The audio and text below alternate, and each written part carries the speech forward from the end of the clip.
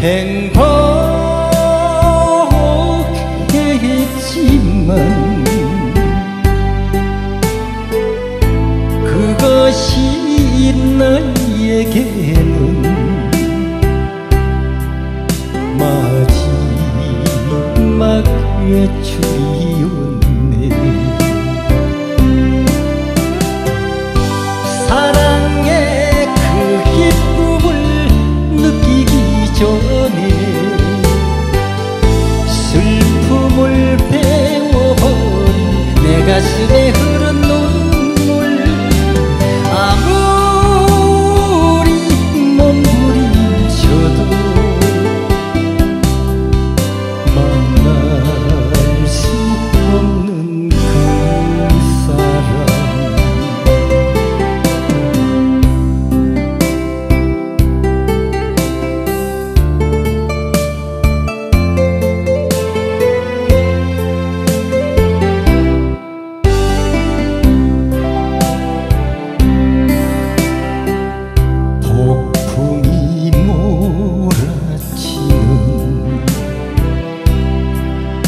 그때